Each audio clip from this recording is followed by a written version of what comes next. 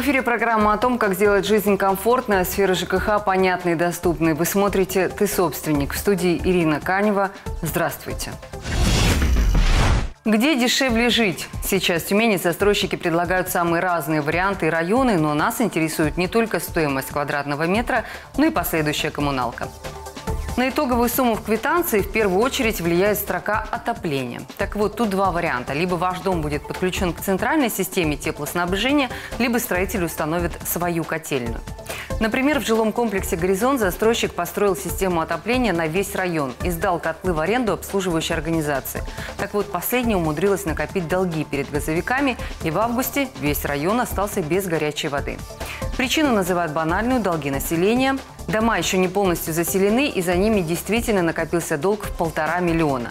Однако отключать добросовестных потребителей они не имели права. Были вызваны руководители как арендатора котельной, а, так и управляющей компании, где были проведены акты сверки, было э, полностью проведено, как сказать, расследование по данному вопросу, выяснили, э, почему образовалась задолженность, в течение трех дней было все урегулировано. Это один из минусов частных котельных, хотя плюсов у них особо нет. Как правило, на таких объектах стараются применять городской тариф, а значит жители особо не экономят на тепле, даже наоборот.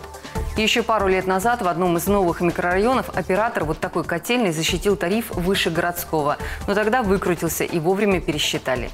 Самыми экономичными пока остаются газовые котельные на крыше. Тариф на них не защищают. Как правило, жители оплачивают только потребление газа. На той же Пражской стоимость отопления зимой доходит до 18 рублей, если переводить объем газа в квадратные метры, тогда как муниципальный норматив около 32. Его применяют, если в доме не установлен или вышел из строя общедомовый прибор учета. Получается, что жильцы домов, где есть котельная на крыше, оплачивают за отопление почти в два раза меньше, чем в среднем по городу. При этом не стоит забывать, если оборудование выйдет из строя, то его придется чинить за свой счет, то есть дополнительно собирать средства. Но у них есть свои недостатки, например, лишний шум, ведь их ставят поверх квартир, и если застройщик не учел некоторые параметры, жить под такими котлами становится невозможно. Вот один из примеров. Пражская, 51. Дом строился долго, но сейчас он один из лучших в районе. Жители сравнивают квитанции с соседями и радуются, что у них есть крышная котельная. Но радуются не все. Вызывали Роспотребнадзор, э, замеряли шумы. Шумы были в 12,9 э, раза завышены, чем по норме. Э, кроме того, идет еще и резонанс шел. То есть вот дребезжание такое вместе с кроватью.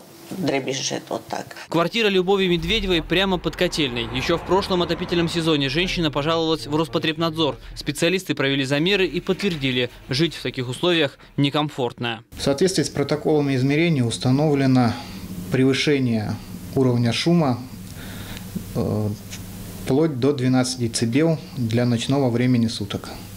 За выявленные нарушения юридическое лицо привлечено к административной ответственности, выдано предписание об устранении выявленных нарушений со сроком до ноября Надзорные органы только подтолкнули жилищников к активным действиям. Управляющая компания взяла дом от застройщика. Проблемы с котельной начались сразу. Только летом на нее не жаловались. Для подогрева воды достаточно и одного котла, который работает в полсилы и почти не шумит. Но первая же зима показала. Нужно собирать средства на реконструкцию. Сейчас специалисты устанавливают вибровставки, монтируют частотные пускатели и новые насосы. Принято было решение до начала отопительного сезона, как она выйдет на полную мощность и, соответственно, э, будет шуметь еще больше э, сделать работы по ее реконструкции, которые приведут к снижению шума. Собственно, это сейчас и происходит. На реконструкцию котельной Роспотребнадзор дал время до ноября. Однако в управляющей компании уверены, справятся и за пару недель. При этом за ремонт общего имущества жителей не возьмут ни копейки.